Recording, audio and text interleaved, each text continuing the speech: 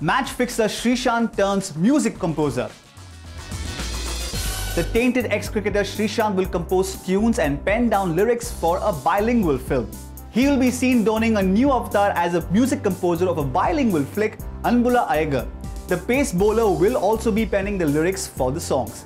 Sreesanth will also be taking part in the dance reality show Jhalak Dikhhla Jaa. Kochi's express bowler who had the golden opportunity to shake a leg with Bollywood Badshah Shah Rukh Khan seems to be on a lookout for an alternative career after his cricketing dreams crashed abruptly.